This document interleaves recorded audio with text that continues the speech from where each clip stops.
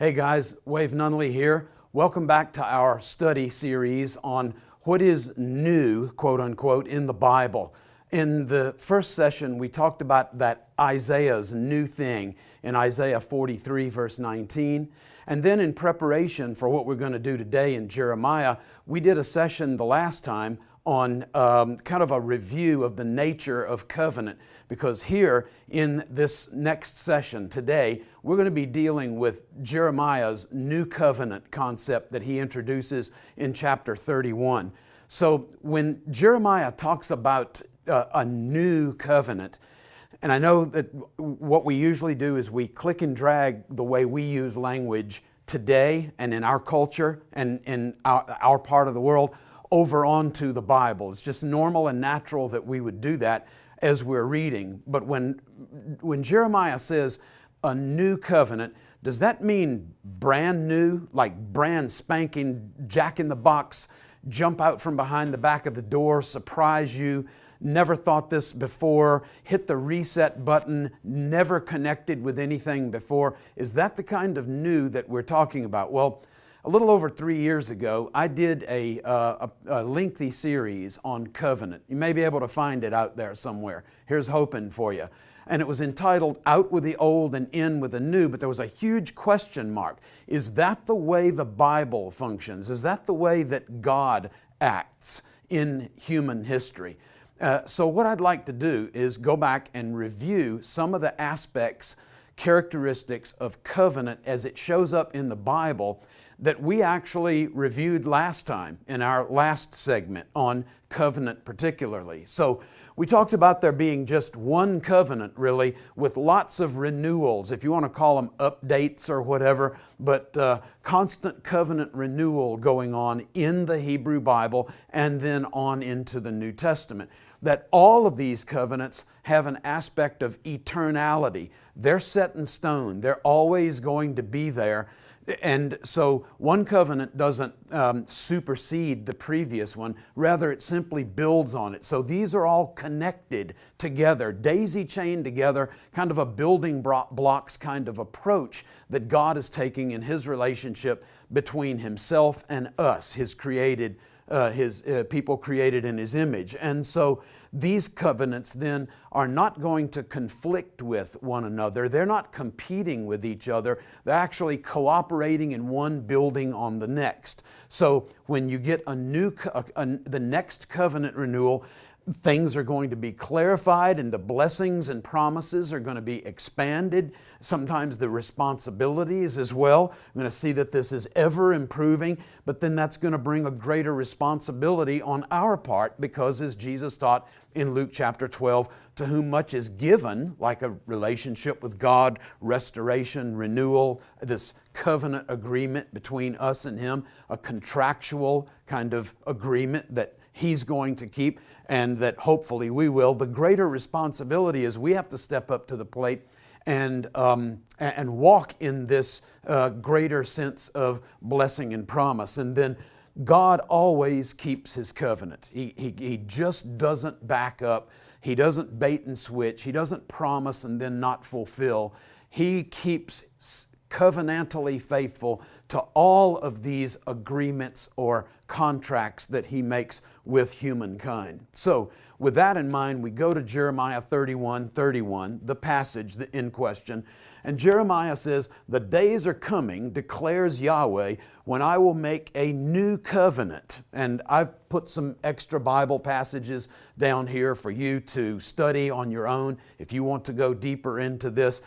It's simply showing that this idea of new covenant, even the language that is used by Jeremiah, is borrowed extensively throughout the New Testament, including when Jesus is renewing the covenant at the Last Supper, the subject of our next segment. And Jesus talks about the blood of the covenant. And the new covenant in my blood, which is reported by Paul as well. The new covenant in my blood. So, in this matter of Jeremiah's new covenant that he's going to make. And by the way, you noticed on that previous slide that it's with the house of Israel and the house of Judah. You got to ask that question about this language in Jeremiah. New in what way? New like in American advertising industry, way, new way, or in the way that we have seen as revealed in all of the stuff that we've gone through in the previous two segments, especially the one on covenant, is new simply to renew. Well, in Jeremiah, we saw that it's going to be with the house of Israel and the house of Judah. So the agreement is between the same God and the same people. As we continue to read in Jeremiah chapter 31, it's going to be uh, a, a, a covenant, a relationship that's going to bring Israel and Judah back into their same land. So the land promise is the same. The res- restoration of God's blessing, God's presence, um, those are all going to be the, it, the same. So the question then is is it new or renewed?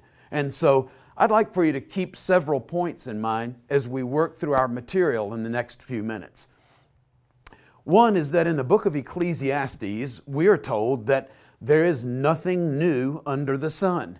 And in reality, if you think about it in our day, all of the hype and all of the money and effort that uh, is gone to in the advertising industry, the television, radio, etc., uh, newsprint media uh, industry, the attempt is to bait us into thinking that we've got something brand new on our hands when in reality, most oftentimes you're working with the same uh, kinds of chemical elements, you're working the, with the same kind of stuff, but you're improving the technology or you're improving the performance of the uh, clothes washing detergent or whatever. So, when the Bible says there is nothing new under the sun, basically that's kind of giving us God's opinion on His created order, His position, His perspective on. So don't expect a whole lot of brand new jack in the box stuff. You might be faked off by some of the advertising, but in reality, you're simply dealing with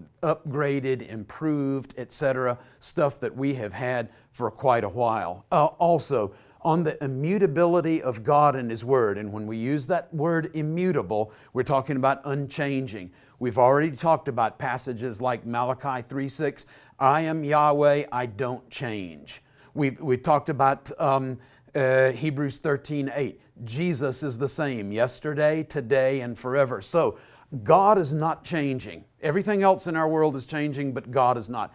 And then, because His Word is an expression, an outgrowth of His character, God's Word doesn't change either. You get in Isaiah 40. Uh, the grass withers and the flower fades. All flesh is grass, talking about us but the Word of God stays the same forever. Or, if you want in uh, Jesus' words, my words will never pass away, or not a jot or a tittle will pass away from the law. Even if heaven earth pass away, not a jot or a tittle will pass away. Keep those in mind. And then another is the, um, the covenant loyalty, the Hebrew chesed, the chesed of God. God's covenant loyalty, according to the same writer that we are studying today, Jeremiah 31 31. The same author writing Lamentations says the covenant loyalty of Yahweh never ceases. His mercies never come to an end. So you've got these unchangeable things the nature of God, the nature of His Word, and specifically this business of chesed or covenant loyalty. Those are locked in, they will always be there. So keep that in mind, factor that in as we're looking at this language of new in Jeremiah. Now, back to Jeremiah chapter 31. Uh, verse 31. Before we even get there, Jeremiah is already setting the stage for chapter 31. He does it back in chapter 11 where he talks about the people of Israel have turned back to the iniquities of their ancestors. They wouldn't hear God's word, wouldn't receive his reproof, his direction, guidance, would not uh, obey him, and they went after other gods. And they, Judah and Israel, have broken my covenant. Notice that it's us, it's people on this side of the covenant. God didn't break it, he didn't annul the covenant. He says that the covenant has suffered injury because of the disobedience of His people to the stipulations of the covenant. Does God have the ability, though, to restore His covenant to its pristine place and to even expand it, improve on it, move His plan forward? Does He have the ability to restore His people? And we're going to see in the uh, book of Jeremiah, in chapter 31, He absolutely has that ability. And so, even though we might on our end come up short, God has this ability to fix things that we break. Thank God for that. That's a part of the good news, including things like sin and then forgiveness and restoration and reconciliation. God can do what we can't. So, to Jeremiah 31, and now we go verse by verse.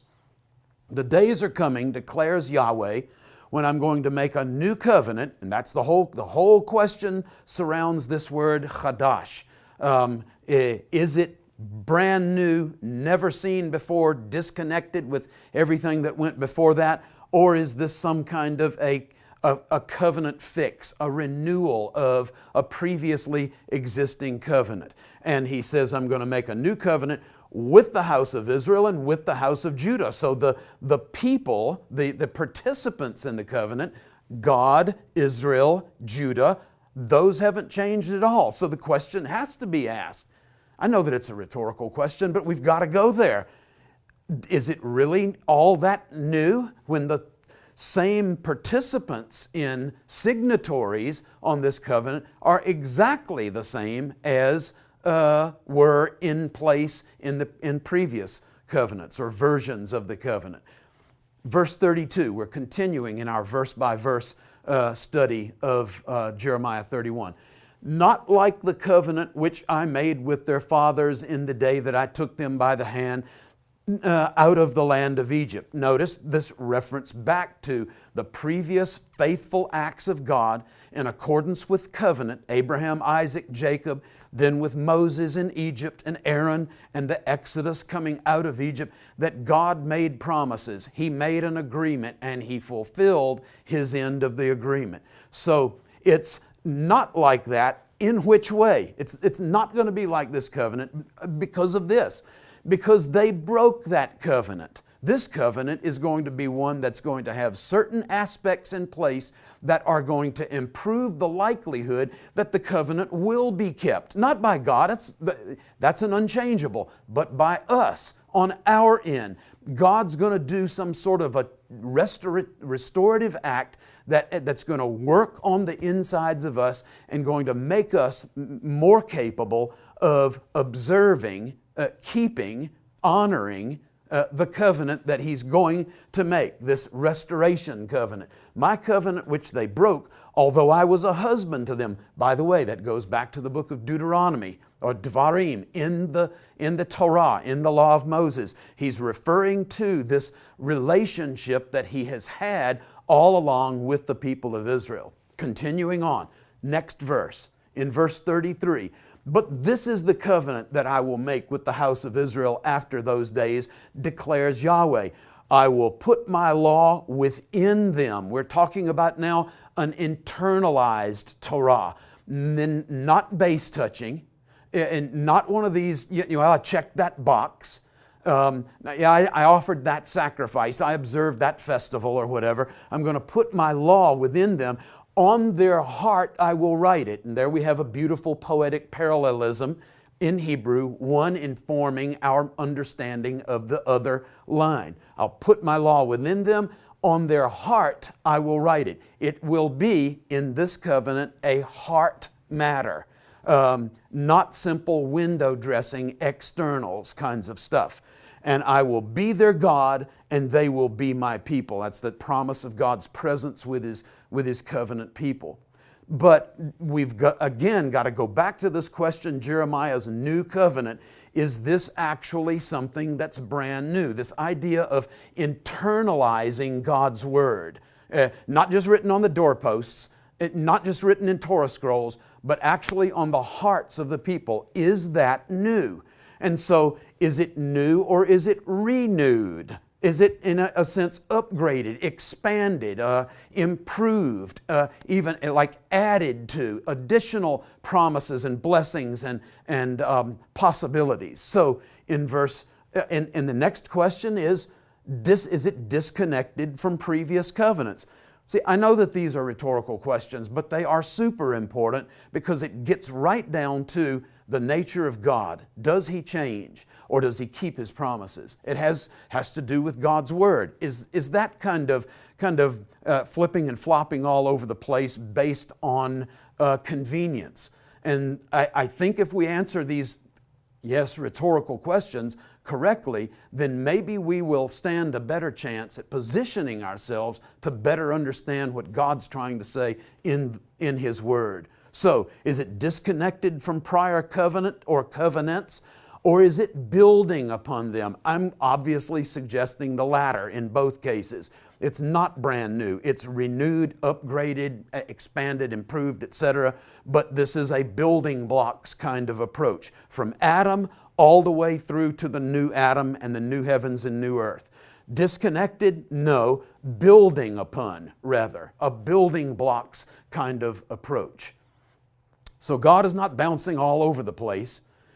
Something different every day, something brand new that freaks us out or surprises us uh, each day. But we can trust God's hand because God works in covenantally consistent ways with us. So the question is about this business of internalizing the Torah. I want to reflect back on Jeremiah's Bible. He has the Hebrew Bible, or at least a, a, prototype, a version of it, and it includes the law of Moses or the Torah. And so in Deuteronomy chapter 4, we have a, a, God speaking through Moses, and he's talking about the whole Torah, and he says that you need to keep your soul.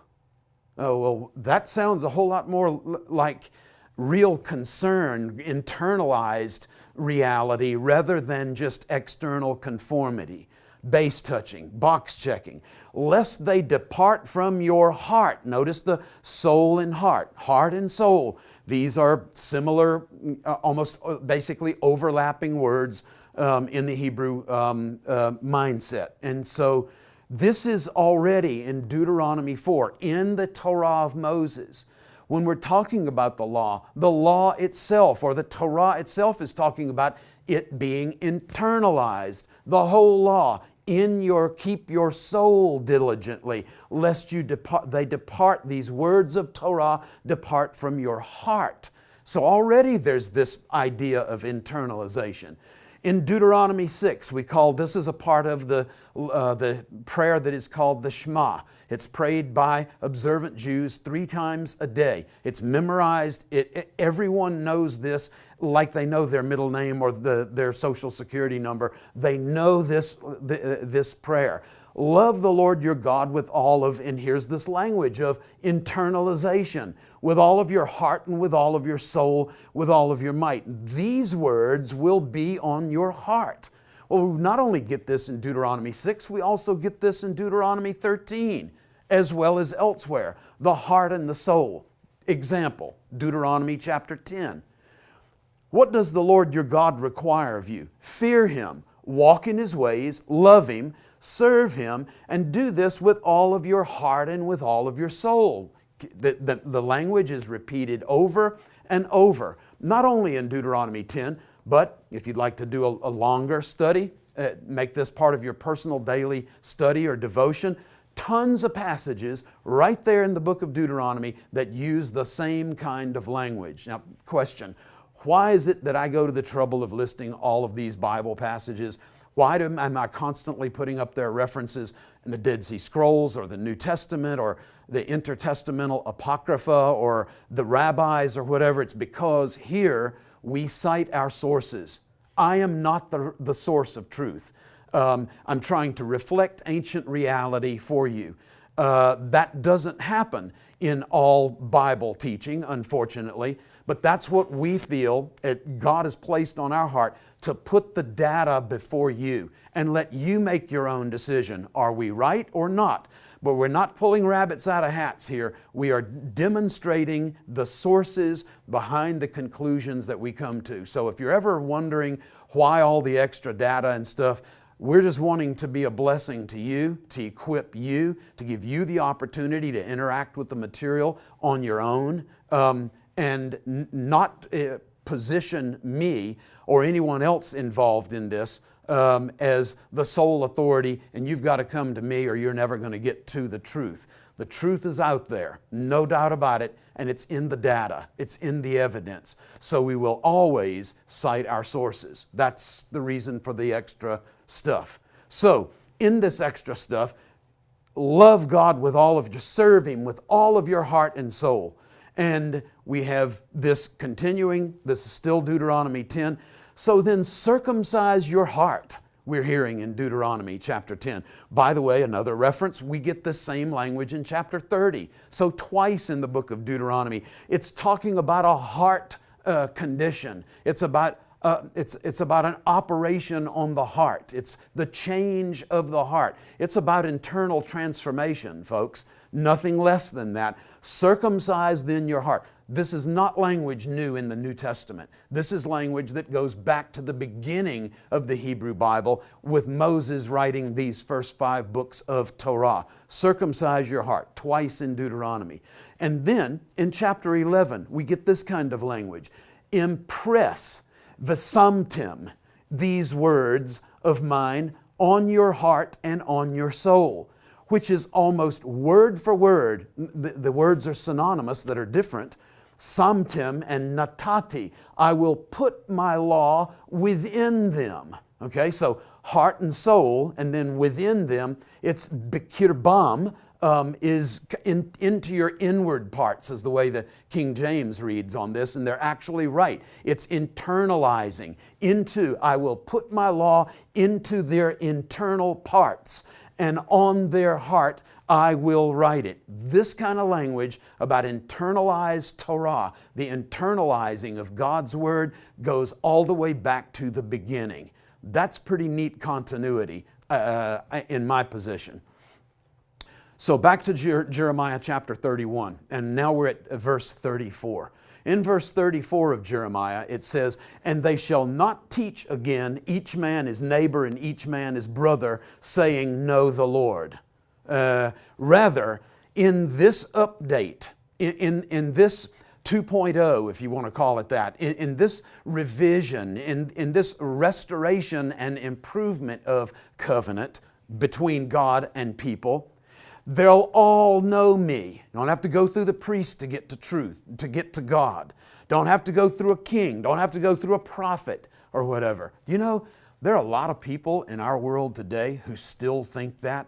Got to go to church to get to God. I, have got to go to um, this specific uh, expert to get uh, to God. I've got to go to this revival to sense the presence of God. That's not the way God has ever rolled. God has always been available 24 7, 365 to us.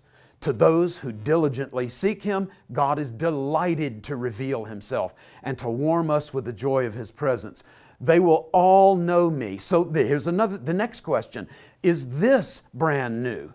Oh, this whole idea of, of, of uh, personal responsibility. Well, with Jeremiah, he's certainly emphasizing that it's not just a nationalistic relationship with God. It's not tribal. It's not just with the clan. It's not just through the temple. It isn't just through the priesthood. It's not just through the, uh, the, the uh, guild of prophets or whatever. But what Jeremiah is saying is in this covenant, God is going to so work on the human heart that He is going to make a place that is ready for Him to abide in us.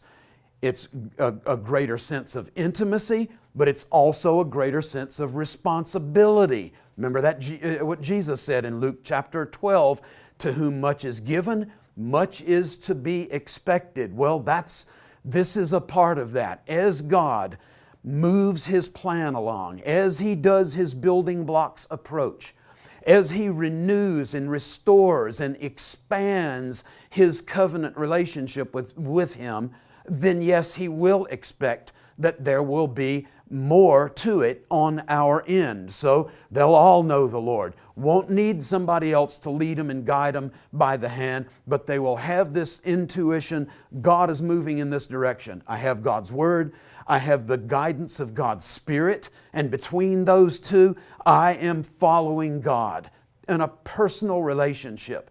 And this is grounded in the Torah, it's also grounded even more so, even more strongly in these words of Jeremiah about this quote, new covenant.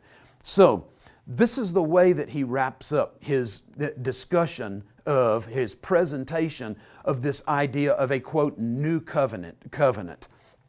Um, and he, he says in the same chapter, just a few verses later, he says, and this is a rhetorical statement by the prophet. The prophet says, If this fixed order of day and night departs from before me, declares Yahweh, then the offspring of Israel will cease from being a nation before me forever. Has that happened? Well, actually, no, it hasn't. In fact, Paul goes into great detail on how this hasn't and won't happen in Romans chapters 9, 10, and 11. A great study um, when you've uh, got the time and when you're ready for that. Romans 9 through 11. Um, three chapters on this whole issue of the place of national or ethnic Israel in God's plan for uh, bigger plan for the world.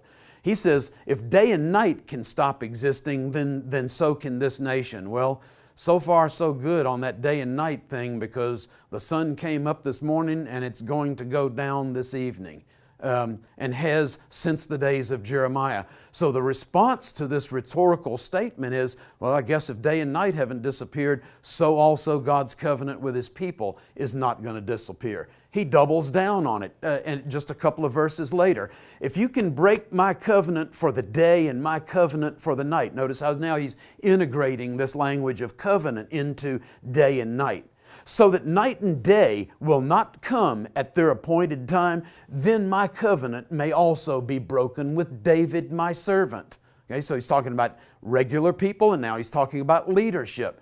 But basically, he's making the same point. As long as day and night are in place, this covenant is going to stay in place. Hope that you see that, and, and by the way, he's not talking about new covenant here. He's just using the language of covenant, covenant, covenant. And he's talking about when I make an agreement with people, it's as sure as the sun coming up in the morning and the sun going down at night. That is God's statement through this prophet, who is the one who introduced this language of new covenant. He says a couple of verses later, if my covenant for the day and night don't stand, and the fixed patterns of heaven and I, I, that, that I've not and I haven't established those, then I would reject the descendants of Jacob. Notice the covenant name. And David, who God has made a covenant with David. And um, the descendants of Abraham, Isaac, and Jacob. He's going back to that old covenantal language, the covenant that God made with the patriarchs, Abraham, Isaac, and Jacob. Rather, Jeremiah says, I will restore their fortunes. Notice that word restore. It's not, I'm going to start all over again. I'm going to scrap all of that as plan A and I'm going to plan B. You know, I'm done with that, you know, and I'm done with them and I'm done with that place and I'm done with those words and stuff and they are no longer relevant. Now I'm going to start some whole brand new thing from scratch. That's not what Jeremiah is saying. It's the same passage, same guy, same passage. And he says, I'm going to restore their fortunes.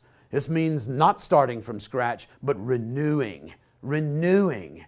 And so in your life, guys, God, every time that you mess up, sin, break fellowship with God, disobey or whatever, when, when you come back and you say, God, I, I really blew that, and I'm so sorry, and I apologize, and I repent from that sin, and I turn back toward you. Is there some brand new covenant? Is that a brand new start? Like you have to start learning all about who God is and His Word, and how to, you know, grow in uh, your relationship with Him? No.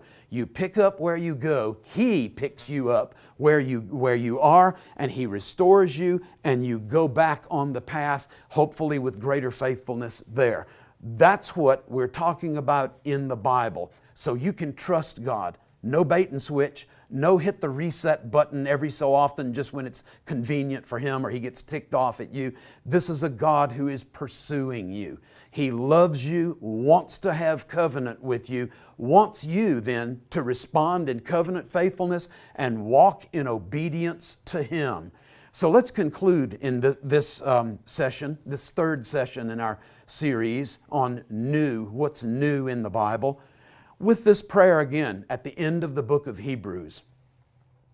Now the God of peace, who brought up uh, from the dead the great shepherd of the sheep, through the blood of the eternal covenant, one covenant, and it's eternal. Even Jesus our Lord, may He equip you in this covenant, this, new, this improved, uh, expanded covenant. May He equip you in every good thing to do His will, working in us that which is pleasing in His sight through Jesus Christ. It's through Him to whom be the glory forever and ever and ever. Amen. This is the nature of God and covenant. It is set forever.